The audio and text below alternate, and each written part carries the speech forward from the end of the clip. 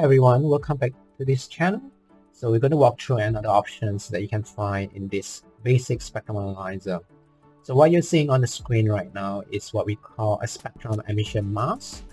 So this is very useful when you want to measure the signal of interest such as what you're seeing right now is a wideband digital signal.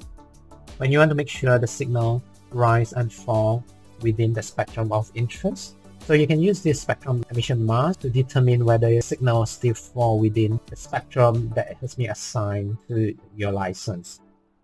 So this is a setup that I just made prior to starting this video recording. And I'm going to preset it so that you can see step by step of what I'm doing. So I'm going to preset this. And this is how it looks like when you power up. And I'm going to turn on the signal. So as you can see, there's one signal popping out at 1 gigahertz. That's what I'm transmitting from the signal source. And I'm going to change the span.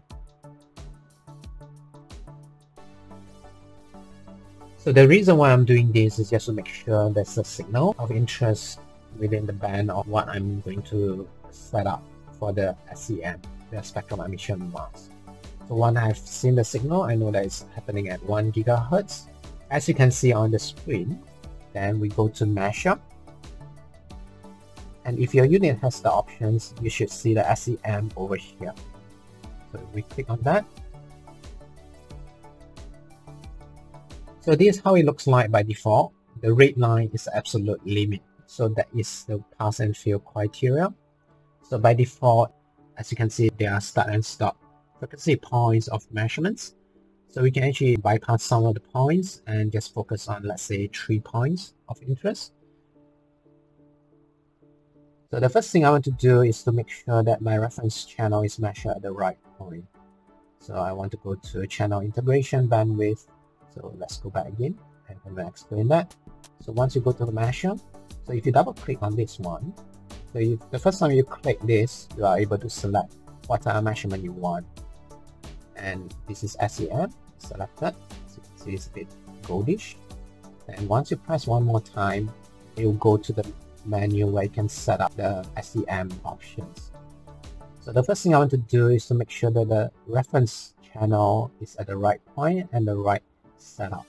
So we know that the signal of interest is about 4.8 megahertz bandwidth. So we set these one to 4.8 and channel span 5 meg. Sorry, I have to change that. So resolution bandwidth, I can set it to auto or manual. I just leave it as 30k. Right, then we return. So the next thing I want to do is to change the offset and the limit. Let's go there. So the first offset is starting at 2.5 megahertz. So it will go left and right, as you can see here. So what I'm going to do is because I know my signal cutting off about 2 megahertz. So let's start at 2 megahertz. 2 megahertz. Stop. Let's say we put a 200 kilohertz range. So start at 2.2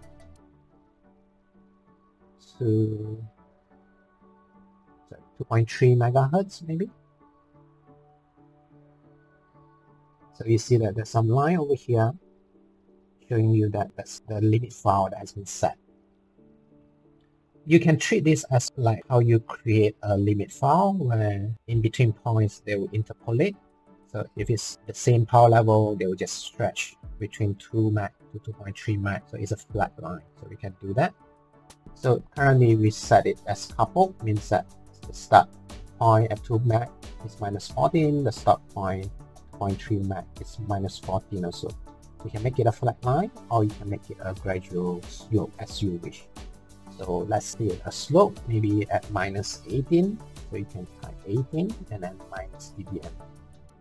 So you can see that there's a slope over here, a tiny little slope. Okay, let's zoom in. How do we zoom in? Is to remove the last point, 7.5 meg, because that's how you're going to set the range of it.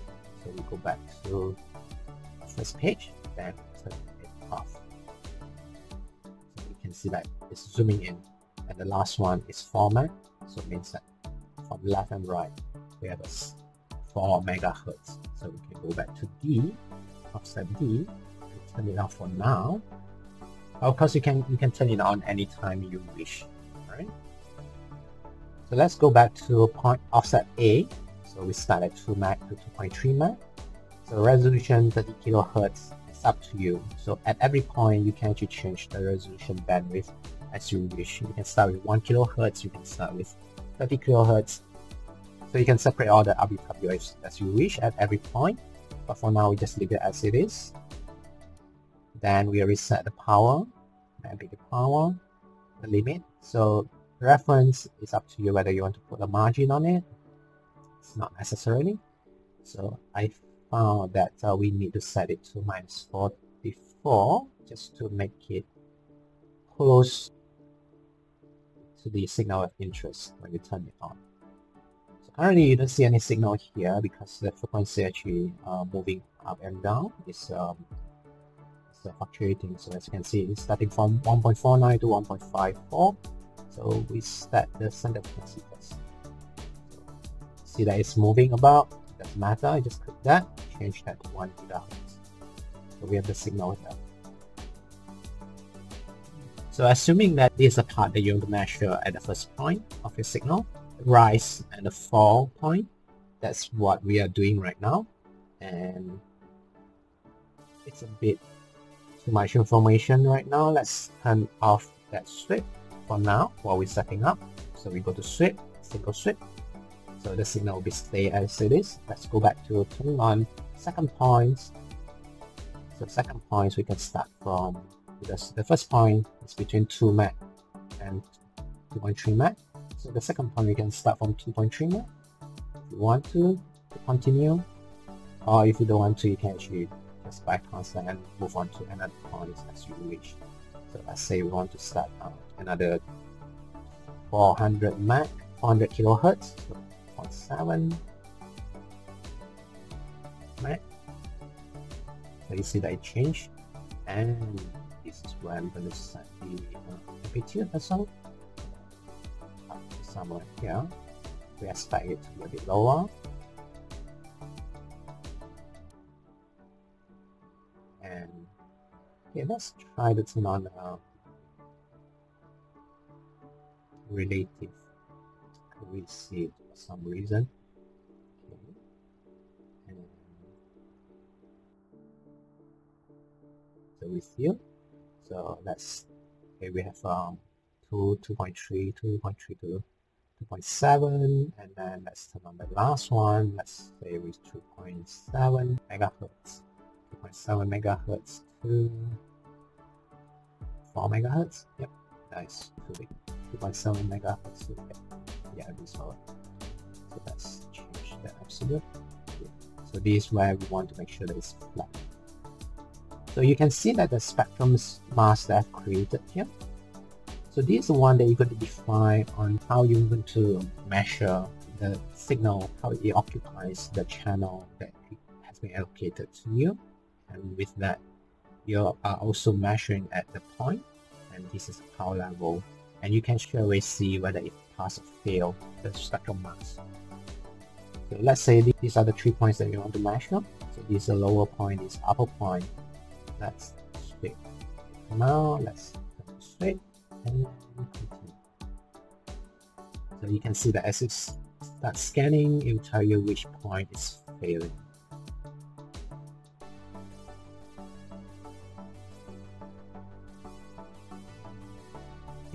Why do we need to use SEM instead of limit file? So for limit file, when you create a limit file, it's always absolute frequency point. It means that if you set it to the between 996 meg to 1.04 gig, it always stays there.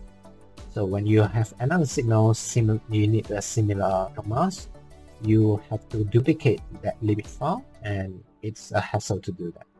But with this spectrum emission mask, can you change the center frequency? Let's say I have another signal at 2 gig. So I change it to 2 gig. No signal here. I'll change my signal source to 2 gig. And you just transfer the same mask from one band to another. So to me, this is one of the good features to have as compared to limit file. You might ask also what's the difference between this spectrum emission mask compared to ACP. So ACP is mostly out of band measurements. Actually what we want to do is we want to measure the sideband, what's going on on the sideband versus the sample band, the carrier signal. And SEM is to determine that carrier signal mask. So I hope this helped. Thanks for watching.